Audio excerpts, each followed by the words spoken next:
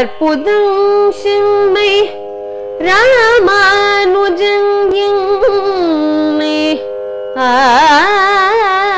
ஆளவந்த கற்பகம். கற்றவர் காமுருஷீன கருது அறிய பல உயிர்களும் பல உலகையாவும் பரநிலையில் நற்பொருள் தன்னை இந்நானிலத்தை வந்து நாட்டினே எவரே மானா திவ்ய திருவடிகளே சரணம்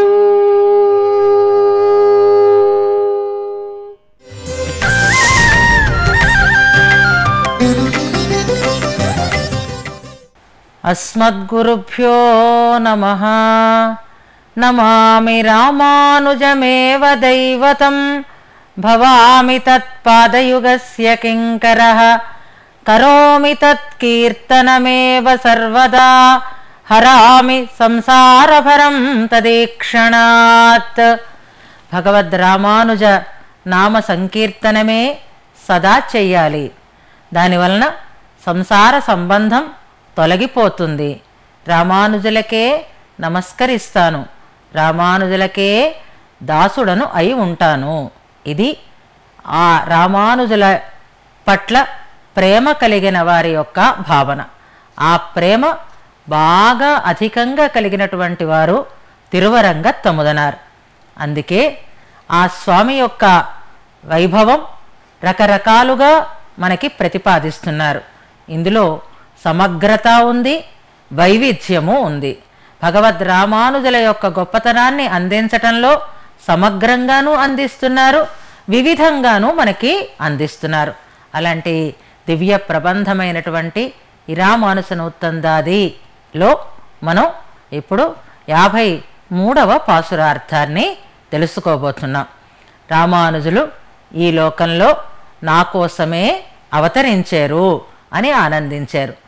నా కోసమే అవతరించిన ఎన్నో పనులని ఆయన చక్కబట్టారు అన్నారు యాభై రెండవ పాసురంలో ఈ యాభై మూడవ పాసురంలో భగవద్ రామానుజుల యొక్క ఔదార్యాన్ని తెలియచెప్తున్నారు. ఆ ఔదార్యాన్ని చెప్పటానికి వారిని కల్పవృక్షంతో పోలుస్తున్నారు అయితే సాధారణమైన కల్పవృక్షానికి రామానుజ రూపమైనటువంటి కల్పవృక్షానికి చాలా భేదం ఉంది అని అంటారు ముందుగా మనం పాసురాన్ని చదువుకుందాం అందులో ఉండేటటువంటి అర్థాన్ని తర్వాత మనం తెలుసుకుందాం அற்புதம் செம்மை ராமானுஷன் என்னை ஆளவந்த கற்பகன் கத்தவர் காமுருசீலன் கருதறிய பற்பல்லுயர்களும் பல்லுலகியாவும் பரனதென்னும் நற்பொருள் தன்னை இந்நானிலத்தே వందు నాట్టిననే ఈ లోకంలో ఒక అద్భుతమైనటువంటి సిద్ధాంతాన్ని స్థిరంగా నిలపడం కోసం కల్పవృక్షంగా ఈ లోకానికి అందినటువంటి మహానుభావులు భగవద్ రామానుజులు అని అంటున్నారు సాధారణంగా మహనీయుల యొక్క ప్రవృత్తి ఎలా ఉంటుంది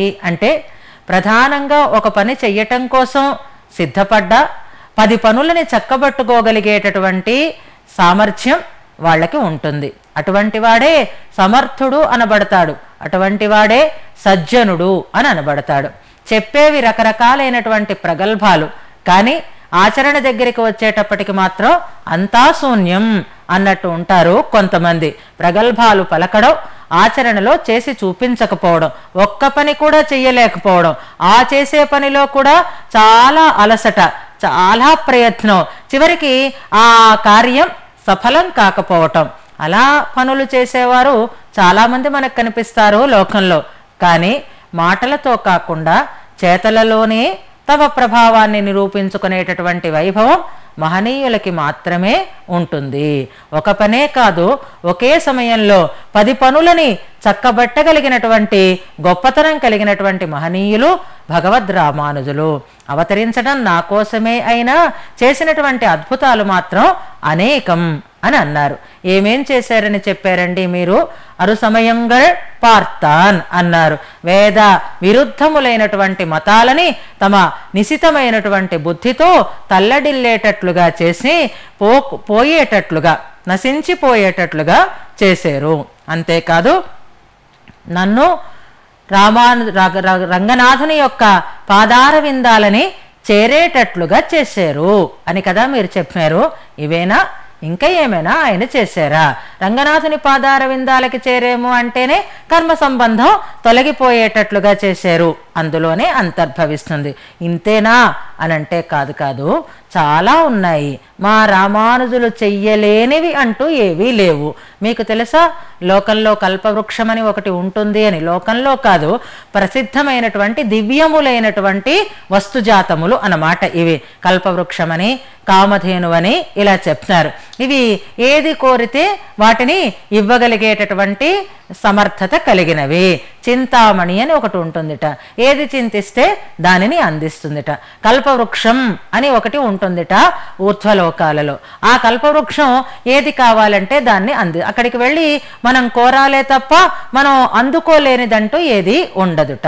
అలాంటి ఒక కల్పవృక్షం కల్పవృక్షంతో భగవద్ రామానుజులని సమానంగా చెప్తూ అంతకంటే వైభవం కలిగినటువంటి వారు రామానుజులు. మరి కల్పవృక్షంతో ఎందుకు చెప్పాలి? అంటే అందరికీ అర్థమయ్యేటట్లుగా చెప్పాలి కనుక. అర్పుదం శమ్మై ఇరామానుషన్ అంటున్నారు. అర్పుదం శమ్మై ఇరామానుషం. అద్భుతం అండి అంటాం. అంటే ఆయనే ఒక అద్భుతం. ఆయనే ఒక రుజువర్తి అయినటువంటి వాడు. ఆర్జవం అంటే రుజుత్వం అన్నింట్లోనూ ఏకరూపంగా ఉండగలిగేటటువంటి శక్తి భగవద్ రామానుజులకి ఉంది. అర్పుదం శమ్మై ఇరామానుషన్ ఎన్న ఆళవంద కర్పగం అంటున్నారు. నన్ను సంరక్షించటం కోసం ఈ లోకంలోకి అవతరించినటువంటి ప్రేమమూర్తి రామానుజులు. ఎన్నై ఆళవంద కర్పగన్. మనకి తెలిసిన ప్రసిద్ధమైనటువంటి కల్పవృక్షం ఉందే అది ఉన్న చోటే ఉంటుంది. స్థిరంగా ఉంటుంది. ఎక్కడికి కదిలి రాదు. మనకి ఏదైనా కావాలి అంటే దాని దగ్గరికి మనం వెళ్ళాలి తప్ప మన దగ్గరికి అది వచ్చేటటువంటి అవకాశమే లేదు. అంతేకాదు కోరాలి. కోరితేనే మనకి కావలసిన దానిని అందించగలిగేటటువంటి వైభవం ఆ కల్పవృక్షానికి ఉంది. కానీ రామానుజులు అనేటటువంటి కల్పవృక్షం ఉందే అది తమ దాస్యాన్ని మనకి అందించగలిగే కల్పవృక్షం. ఈ మామూలు కల్పవృక్షానికి ఆ ఆచార్య దాస్యాన్ని కానీ భగవద్ దాస్యాన్ని కానీ అందించగలిగే అవకాశం లేదు. కల్పవృక్షానికి వెళ్ళి మనం ఏం సేవ చేస్తాం? తన సేవని తాను అందించదు కల్పవృక్షం. కానీ రామానుజులు తమ సేవని నాకు అందించిన వారు అయినారు అంటున్నారు. అంతేకాదు ఆ లోకంలోంచి ఈ లోకంలోకి దిగి రావటం. ఇది రామానుజుల యొక్క విలక్షణత్వం రామానుజుల యొక్క ప్రత్యేకత అంటున్నారు. రామానుజులనేటటువంటి కల్పవృక్షానికి ఉండే ప్రత్యేకతలు రెండు. ఒకటి ఉన్న చోట కాకుండా ఇక్కడికి రావటం. రెండు తమ యొక్క సేవని మనకి అందించటం. నాకు అందించారు రామానుజులు తమ దాస్యాన్ని. నా నేను ఉన్న చోటికి వారు అంది వచ్చారు. నా దగ్గరికి వచ్చినటువంటి కల్పవృక్షం భగవద్ రామానుజులు. ఎన్నై ఆళవంద కర్పగన్ కామురు శీలన్ అంటున్నారు.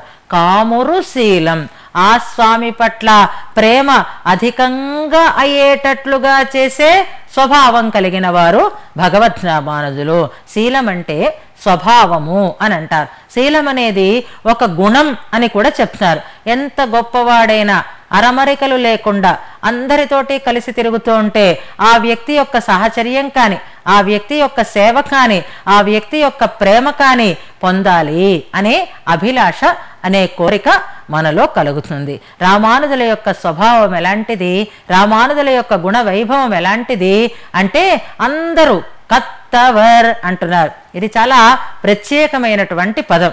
ఒక ప- ఒక వ్యక్తి వంట జన సముదాయం ఉందనుకోండి మంది మార్బలం అధికంగా ఉన్నవాడే ఈనాడు లోకంలో గొప్పవాడిగా పరిగణింపబడుతున్నాడు. ఈ జనం కూడా వివేకం లేకుండా వెంబడిస్తూ ఉంటారు వెన్నంటి ఉంటారు. అలా పది మందిని కలుపుకొని ఇంత జనం నా వెనకాతల ఉన్నారు ఇంతమంది నన్ను కోరుకుంటున్నారు అని అంటే ఆ జన ప్రాబల్యం చేత ఆ వ్యక్తికి అతిశయం సంక్రమిస్తుంది. కానీ అలా అనుసరిస్తూ ఉండేటటువంటి ఆ జన సముదాయంలో తెలిసిన వారు ఎంతమంది తెలివి తక్కువ వారు ఎంతమంది అని కనుక పరిశీలన చేస్తే అందరూ తెలివి లేని వాళ్ళే అయి ఉంటే ఆ వ్యక్తి గొప్పవాడు కాదు అని అర్థం అనమాట ఒక ఆకర్షణ ఉంటే తెలివి తక్కువ వాళ్ళందరూ దాన్ని వెళ్ళిపోతూ ఉంటారు. అందులో ఉండేటటువంటి మంచి చెడ్డలని వాళ్ళు ఆలోచించలేకపోతున్నారు అనమాట కనుక ఎవరు ఆ వ్యక్తిని అనుసరించి ఉన్నారో అనుసరించి ఉన్న వారి యొక్క గొప్పతనాన్ని కూడా మనం తెలుసుకోవాలి. రామానుజులని కోరుకునేవారు ఎవరుట? అంటే కత్తవర్ తెలిసినవారు అన్నారు. అంటే బాగా విజ్ఞానం కలిగిన వారు శాస్త్రాధ్యయనం చేసినవారు మంచి ప్రతిభా సంపన్నులైనటువంటి వారు శాస్త్రీయమైనటువంటి విషయాలని ఎరిగినవారు కత్తవర్ విజ్ఞాన కనులైనటువంటి వారందరూ కూడా రామానుజులే తమకి సర్వము అనుకునేటట్లుగా రామానుజుల యొక్క శీలం ఉన్నది కత్తవర్ కామురు శీలన కూరత్తాళ్వాన్ జ్ఞానాధికులు. రామానుజుల కంటే కూడా చెప్పాలి అంటే ఏకసంధాగ్రాహి. అలాంటి కూరత్తాళ్వాన్ రామానుజుల సేవ కంటే మించినది తమకి మరొకటి లేదు అని అన్నారు. శ్రీభాష్య రచనలో ఒక గ్రంథాన్ని ఒక్కసారి చూసి జ్ఞాపకం పెట్టుకొని రామానుజులకి సహకరించగలిగినటువంటి వైభవం కలిగిన వారు కూరత్తాళ్వాన్. ఇక కూరత్తాళ్వాన్ మరొక మరొక పని మీద రామానుజులను విడిచిపెట్టి దూరంగా వెళ్ళడానికి ఇష్టపడ్డారేమో కానీ ఒడుగనంబి అని మరొక ఆయన ఉన్నారు రామానుజుల యొక్క శిష్యులలో. ఆయన అద్భుతమైనటువంటి జ్ఞానం కలిగిన వారే. ఆయనకి రామానుజ సేవ తప్ప మరొకటి వద్దు అనిపించేటట్లుగా రామానుజులని సేవించారు. రంగనాథుని యొక్క ఉత్సవాలని చూడటంలో కూడా ఉత్సాహాన్ని చూపించకుండా రామానుజులకి పరిచర్య చెయ్యటంలోనే రామానుజులకి సేవ చెయ్యటంలోనే తమ జీవనాన్ని సఫలం చేసుకున్నటువంటి వారు వడుగనంబి. మరొక ఆయన ఉన్నారు కిడాంబి ఆచాన్ అని. రామానుజులకి ప్రసాదాన్ని చేసేటటువంటి మహనీయులుగా తమని తాము తీర్చిదిద్దుకున్నారు. రామానుజుల పట్ల అసూయ కలిగిన వారు ఆ రోజులలో రామానుజుల పట్ల విషప్రయోగాన్ని చేశారట. అందుకని రామానుజులు భిక్ష తీసుకోవటం మానేశారట.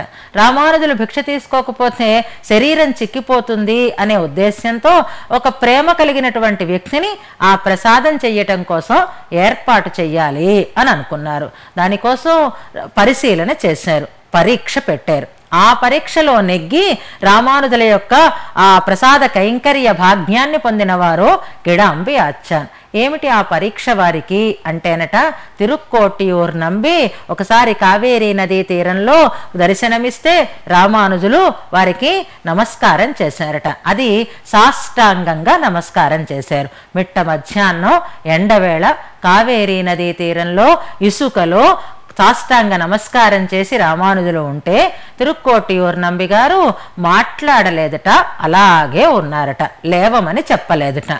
అలా చూ ఆ- సన్నివేశం చూసేసరికి ఈ కిడాంబి ఆచాన్ అనేటటువంటి స్వామి రామానుజుల పక్కనే ఉన్నారు. ఆయనకి చాలా బాధ అనిపించిందిట. ఎండవేళ ఇసుకలో సాష్టాంగ దండం చేస్తే రామానుజుల యొక్క ఆ దివ్యమంగళ విగ్రహం ఆ వేడికి వడలిపోతుంది. ఈ గురువు ఎంతకీ లేవమనటం లేదు.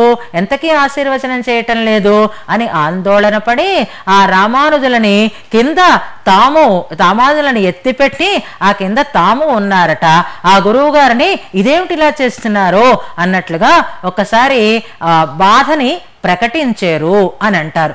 అంత ప్రేమ రామానుజుల యొక్క ఆ రూపాన్ని కాపాడడంలో రామానుజుల యొక్క సేవని చేయటంలో అలా చేసిన వారు ఏం తక్కువ వారు కాదు మహానుభావులే వారందరూ. కానీ రామానుజుల యొక్క స్వభావం అలాంటిది రామానుజుల యొక్క వైభవం అలాంటిది. వారు రామానుజులని అలా సేవించకుండా ఉండలేయకుండా చేస్తుంది. సేవించకుండా ఉండలేనట్లుగా చేసేటటువంటి ఆ శీలం కలిగిన వారు రామానుజులు. కత్తవ కామురుశీలన్ ఇది అందుకే అందరూ ఆనాడు రామచంద్రుడు పరిపాలించిన కాలంలో రామో రామో రామైతి ప్రజానామభవన్ కథా అంటారు. అందరి నోట రామనామమే అందరి నోట రామ కథలే ఆనాడు వినపడ్డాయి. రాముడు తప్ప మరొక రూపాన్ని గురించి కానీ మరొక వ్యక్తిని గురించినటువంటి కానీ ఆలోచన ఆనాడు ప్రజలలో లేదు. ఇది అంతా రామమయమైంది ఆనాడు. అంతకంటే వైభవంగా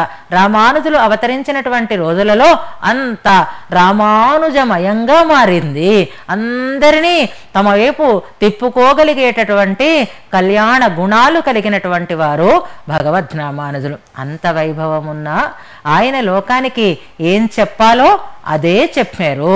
తను గొప్పవాడిని అని తనని సేవించమని రామానుజులు లోకానికి ఉపదేశం చెయ్యలేదు.